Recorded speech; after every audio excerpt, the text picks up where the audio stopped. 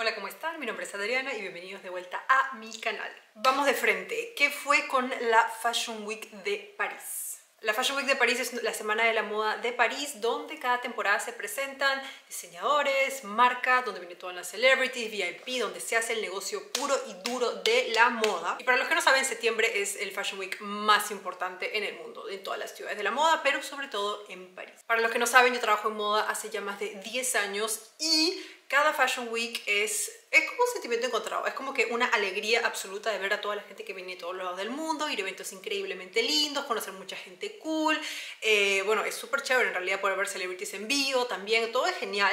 Y por el otro lado, estás cansado, cansada en mi caso, y solamente quieres morir. Sobre todo hacia el final de la Fashion Week. Ahora les voy a contar todo lo que hice en este Fashion Week mientras me como esta galletita de un lugar que se llama Crème.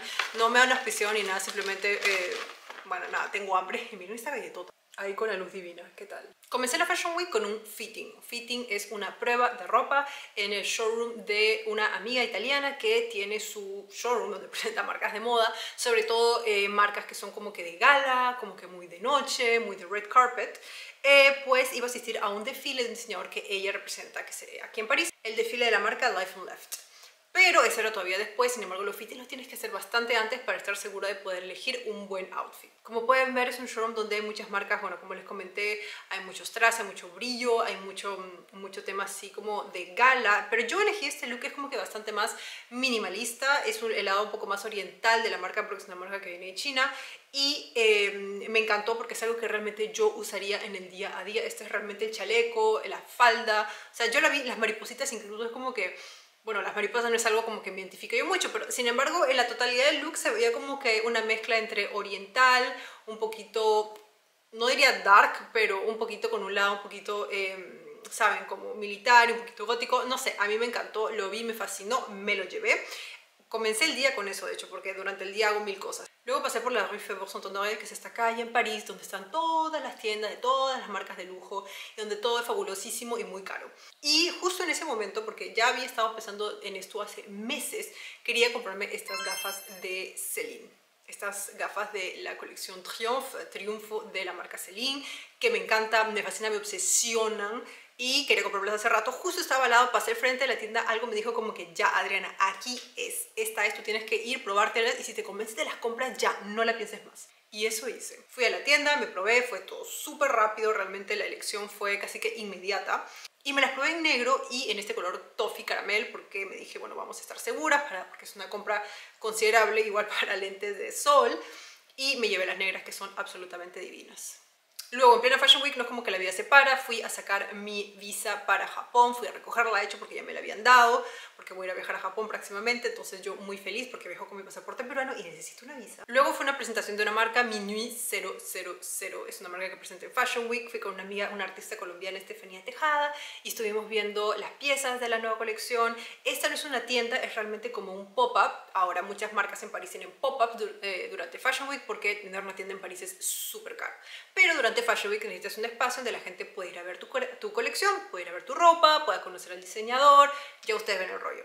Fui, me encantó, me probé esta chaqueta en cuero blanca, bueno, no es realmente blanca, es como off-white. Luego me fui con eh, una amiga que tiene una marca que se llama Aini, nos fuimos las dos a un evento en Le Meurice, que es un hotel bellísimo en Rue Rivoli, es uno de los hoteles eh, más famosos y bueno, de los más caros en París también es un palacio, tiene la categoría no de hotel, pero de palacio parisino.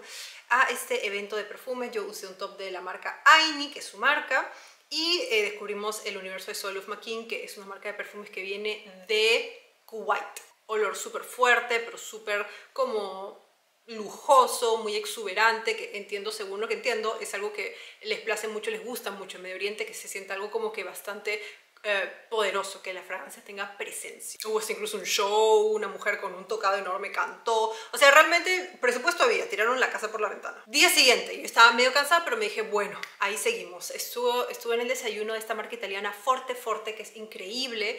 Eh, de hecho, una amiga mía italiana es la Pierre de la marca aquí en París y organizó una especie de desayuno, un desayuno literal donde te puedes sentar en este café Le Progrès, que está en París, que es súper conocido, y te tomas tu café, tu juguito de naranja, tu croissant, tu a mientras los modelos se pasean con las piezas de la marca y algunas piezas de archivo. Realmente súper cool, increíble. Este concepto de desayuno, de mezclar estos mundos eh, no solamente tener un desfile y una colección, pero algo donde puedas vivir, dar la experiencia, me pareció realmente genial. Y fui vestida yo otra vez de Aini, pero ahora con un look completo y con una carterita hecha en Perú. Y estuve con mi amiga Gaby, que es una chica mexicana, que es una stylist que la rompe en París. Luego con Gaby nos fuimos al showroom de esta marca eh, danesa que se llama Skal Studio, que está súper cool. Y justo este trench coat amarillo, bueno, amarillo, pero como amarillo pastel, me dijo la PR que lo había usado Kendall Jenner para no sé qué aparición y no sé cuántos, así que yo me lo probé y me puse en plan Who Wore It Better. Luego me invitaron al showroom, voy a hablar mucho de showroom y ahorita les voy a explicar la diferencia con un desfile, de eh, Le Métier d'Art de Chanel. Entonces, Chanel, ustedes, todo el mundo conoce Chanel, no hay necesidad de explicar, tiene, ha comprado varias marcas especializadas en hacer sombreros, en hacer cashmere, en hacer joyas, en hacer zapatos y estas marcas en conjunto Chanel las llama los métiers d'art, como los oficios del arte, las casas de los oficios del arte.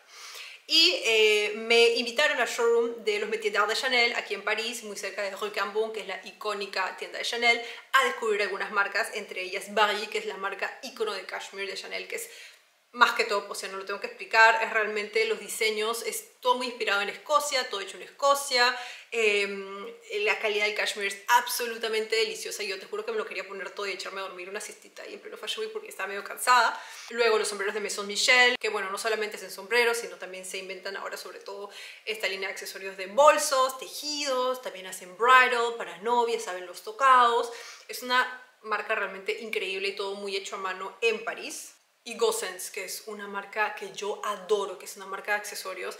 No solamente hacen accesorios y joyería, sino también hacen deco, pueden hacer candelabros, tienen toda una sección eh, de, de, deco que se puede incluso hacer a pedido, pero bueno, los precios eso sí no sé porque no me atreví a preguntar, no quería morir de un infarto, pero Gossens es una marca, es una de las marcas que más me gustan. Yo ya la conocí antes de que me invitaran a este showroom y simplemente me fascinó ver toda la colección en vivo. Ahora les explico la diferencia entre showroom y desfile. El desfile es lo que todo el mundo ve, ustedes ya conocen bien, donde están todos los fotógrafos, donde están todas las celebrities, donde sale toda la colección eh, usada por modelos y bueno, es un formato que es bastante conocido. Pero ¿qué es un showroom exactamente? Un showroom es un espacio donde las marcas presentan sus colecciones eh, a la prensa, influencers y también donde organizan ventas, ventas B2B, es decir, las marcas venden las colecciones a department stores, a tiendas por, bueno, tiendas por departamento, a concept stores, a boutiques, a cualquier distribuidor que quiera vendérselos al eh, consumidor final, es decir, a nosotros mortales. Y los showrooms no son abiertos, solamente puedes ir si eres invitado o invitada, eh, te dan un horario, tú vas, es como una cita realmente, no es como que llegas a la hora que quieres y hay una persona dedicada que te muestra todo el showroom y te muestra toda la colección que va a venir dentro de seis meses. Pero si me voy a comer mi galletita porque tanto que estoy hablando y no como mi galleta. Mm. Mm. Luego pasé rapidito por eh, la inauguración de esta tienda Feta Imperial, Fiesta Imperial. Tiene una tienda súper grande en París, en Le Marais, que es una zona muy cool además. Fui con una amiga, este fue mi look. De verdad que yo estaba como que entre llego a mi casa, me cambio, salgo corriendo, llego a mi casa, me cambio, salgo corriendo, cargo el teléfono, cargo la cámara, es como locura. Y yo estaba muerta, y yo estaba muerta, chatrapo, pero me dije, no, esta noche tengo una fiesta y tengo que ir, porque es de Christian Louboutin Beauty en Palais de Tokio. Por favor, esta vista de la Torre Eiffel es simplemente magnífica. Te juro que ya vivo seis años aquí, cada vez que la veo me enamoro otra vez. Este fue mi look, usé un vestido de mosquino vintage que he conseguido también aquí en París, que me fascina y me parece que se ve súper sexy. Bajamos las escaleras hacia la discoteca, que está como en un sótano, y me tomé estas fotos en el booth. Ahora, algo medio feo pasó aquí, les voy a contar lo que pasó. Estaba yo con mi amiga haciendo la fila para eh, tomarnos una foto en este booth rojo de Christian Louboutin, y la chica como que estaba organizando la fila y todo el shooting, porque había varios fotógrafos. Era una chica como que súper alta, rubia, con maquillaje, pero que ya parecía como que carpintería de todo lo que tenía puesto encima. Eh, y por el acento creo que era de los Estados Unidos. No les puedo garantizar 100%, pero parecía bastante y yo ya tengo un poco el ojo para sacar a la gente. Yo me puse en la fila con mi amiga y me miró, le juro, de arriba a abajo, así como... Y yo, ¿qué onda? Pero bueno, no pasa nada. Cuando nos tocó sacarnos una foto, eh, yo estaba con mi amiga, nos pusimos las dos y esta chica rubia como que hizo un gesto súper rápido, según ella discreto a los fotógrafos, como que como para que no nos tomaran foto, me imagino. Eh, yo, la verdad, me, me, daba igual que me tomara foto un fotógrafo, yo solamente quería foto con mi celular, así como que sin más problemas. Y como que le extendí el celular a la chica en plan, ¿no puedes tomar una foto? Eh, ya veo que tus fotógrafos, bueno, no quieren. Eso no se lo dije, pero era como que, que claramente o no querían o estaban indicados que no querían, pero no pasa nada. Y la chica me dijo, ay, les voy a preguntar. Y, y la miré como, no entiendo lo que está pasando. Y luego me volvió a mirar y me dijo, ay, es que no entiendo qué está pasando, la verdad. Yo le dije, bueno, no pasa nada si no pueden hacer su trabajo. Y la buena se quedó como... y quería responderme y al toque me volteé a la siguiente persona de la fila, que era una pareja de chicos, y le dije, oye, mire, disculpa, en francés, ¿me podrías sacar una foto, por favor? Porque parece que acá simplemente no se puede sacar una foto. Y el chico como que entendió, creo, rapidito lo que estaba pasando y me dijo, sí, claro, no te preocupes. Y nos tomó un montón de fotos, súper bien. Sin problemas, yo le dije muchas gracias y luego entramos a la fiesta. Después la rubia me estuvo como que ojeando todo el rato, literal, me tiraba mal de ojo la mujer y yo tuve que pasarme la ruda cuando llegué a mi casa, así me pasó el huevo. Pero bueno, esas cosas sí que no extraño de los eventos y el mundo de la moda, digamos, de todo este, este glam y este sparkling de los eventos y no sé qué. Es como esas actitudes yo las he vivido 85 mil veces, me conozco muy bien todo eso, entonces como que simplemente no me molesta, no me altero, pero es como cansado, cansado tener que estar soportando estas actitudes infantiles, inmaduras, eh, sobre todo cuando vas a un evento, simplemente a pasarla bien, porque al evento vas a divertirte, nadie te paga, no es un trabajo, tú vas porque quieres. Y además me había invitado a esta agencia, eh, Carla Otto, que es muy conocida en París, entonces me dije, bueno, ellos son muy onda, así que vayamos porque, ¿sabes? Vale la pena, ellos hacen buenos eventos. Al final sí la pasé bien, estuvo súper cool, había, era el lanzamiento de este labial de, Christian Louboutin Beauty, había chicas bailando, había super DJs, la pasamos bien, pero no me quedé mucho rato ni me mía tampoco porque estábamos así muertas. Luego al día siguiente, súper lindo, pude ver a una amiga muy querida que conozco hace más de 10 años, Katia Esquivel de What the Chic, que probablemente algunos acá la conozcan. Ella estaba en París, vino invitada para el desfile L'Oreal y eh, bueno, fui con ella, la, realmente la llevé y le di básicamente un servicio de PR y eh, styling para que encontrase ciertas piezas para tomarse fotos en París, porque como ustedes bien saben, se creadora de contenido, uno tiene que siempre esperarse para lucir lo mejor posible para su audiencia. Fuimos a varios showrooms, vimos muchas cosas, muchas prendas lindas, accesorios. Ella sacó, luego me mandó unos fotones que sacó en París.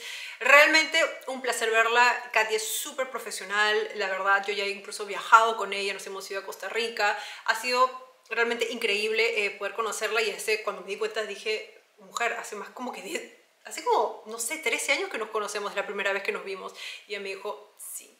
Y bueno, nada amigos, así muy rápido pasa el tiempo. Luego fui a este desfile de Life on Left que les había comentado al inicio, donde hice el fitting, increíble, me encantó el nivel de detalle, el nivel del desfile fue absolutamente increíble, lo hicieron en una galería súper top en París 16 al oeste de la ciudad que fue fascinante. Aquí obviamente look. Y como estaba con mis tacos Valentino, fui volviendo a casa en taxi porque ya los pies estaban destrozados y pasé frente a la Municipalidad de París donde había un desfile, bueno, yo no entré a ese desfile obviamente, pero me dio risa porque todo el mundo estaba afuera así como que, ¡ah! Esperando que llegue alguna celebrity, me imagino. Y este video resume bien lo que son las calles de París durante Fashion Week. La gente se saca foto, la gente hace su contenido y a los parisinos les llega y bueno, y la gente reniega. Pero bueno, eso es París también durante la Fashion Week. Luego me llegó esta prenda hermosa, un traje de baño para hacer contenido, para usarlo más, bueno, no a la playa, pero más en un look, que es de esta marca Nayades. Me encantó, hice el contenido, hice el reel, todo lo pueden ver en Instagram. Y luego de eso me fui corriendo al jardín de Tulerías porque quería ir a esta feria, este salón de moda Premier Class. ¿Qué es Premier Class y qué es un salón de moda? Para los que no saben. Un salón de moda es un, bueno, un salón como una feria donde muchas marcas presentan su colección. Para no tener que estar en un showroom donde tienes realmente que invertir bastante para contratar un PR y para que los compradores vengan a ver tu marca, puedes entrar en un salón donde el fee es mucho menor, tienes el espacio y estás asegurada que van a venir muchos compradores a este salón a buscar marcas. Luego, puede ser muy competitivo, pero la selección de Premier Class es súper buena. La selección de esa temporada fue increíble, se lo dije al equipo, pues los conozco, y me dije, esto realmente es el negocio de la moda en París. Las marcas van para conectar con compradores y realmente hacer que esta industria se mueva. Finalmente terminé la Fashion Week con esta fiesta de Kilian en Mondaine de Parisot, que es una discoteca también muy conocida en París. Fui con una amiga que también es influencer, Anastasia, y fue increíble, la fiesta estuvo de lo mejor, realmente me puse también esta ropa de baño como, eh, como look, lo puse con unos, unos, pantalones de cuerina, con el look, los labios rojos, me sentía increíble, hace tiempo que no salía como que en esta onda tan sexy en París, porque es, es, es verdad que mi estilo ahora es un poco más relajado si desean, pero antes siempre me veía así. Hasta tuvimos nuestro momento de Chuck Bass, que realmente fue como, bueno, Gossip Girl, ustedes saben. Eh, el chico llegó, todo el mundo se alucó, foto, foto. Y el actor en verdad estaba súper tranquilo, Ed Westwick, porque no se llama Chuck Bass. Estaba súper tranquilo y estuvo un ratito solamente en la fiesta, porque también es parte de su trabajo de en Fashion Week aparecer por todos lados. Hice bastantes cosas más que no les puedo mostrar por un tema de confidencialidad, sin embargo creo que esto les da a ustedes una idea de lo intenso y el trabajo que se puede poner durante Paris Fashion Week para alguien que trabaja en moda. Les mando un super beso y en el próximo video les estoy mostrando algunos looks de invierno porque ya está haciendo frío en París. Nos vemos la próxima semana. Chao, chao.